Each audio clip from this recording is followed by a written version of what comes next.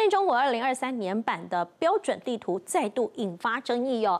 这张呢就是中国自己的地图哦，他们把南海啊，还有台湾以及中印边界的两个地区、两个地方全部都纳为自己的国土范围。我们现在看到旁边哦，最旁边这里有一个中印边界的阿克塞钦地区哦，还有藏南地区以及南海部分都画了一些九段虚线的框，把它框起来哦。那我们仔细放大来看哦，其实这块地区呢，就是我们刚刚说的中印边界的地区。照理说啊，如果呢，呃，一般正常来说，应该黑色的地方才是呃正确的。可是中国啊，他们把这一块给画出来了，就是说这块是我们的领土啦。那另外的藏南地区其实也是呈现是这样，就是他把这些其他的土地好像似乎变成我们的一样哦。那么真的是越框越多，似乎好像是在宣示主权哦。那这也让越南真的是气炸了。外交部重批，他说什么呢？他说中国的地图啊，真的是哦，呃，毫无一些价值意义，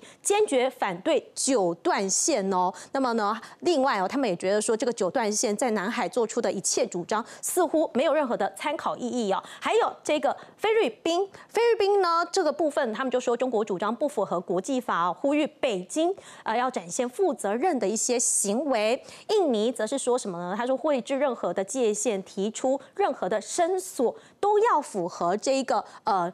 国联合海洋公约这个部分哦，那当然啦，就呼吁说啊，大家就是中国，你千万不要再这样子了。那马来西亚部分哦，它是不承认中国的南海主张，而且还说绘制地图是不具有约束力的，呼吁要尽快敲定。